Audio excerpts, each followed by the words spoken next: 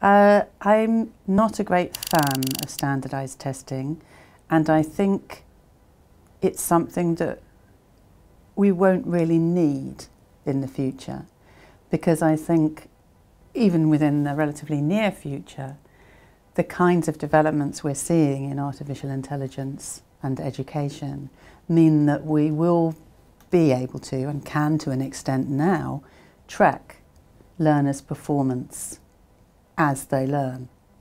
And therefore we'll know how much they understand. We'll, we'll know where they are so we won't need the standardised testing. It'll be a different kind of assessment.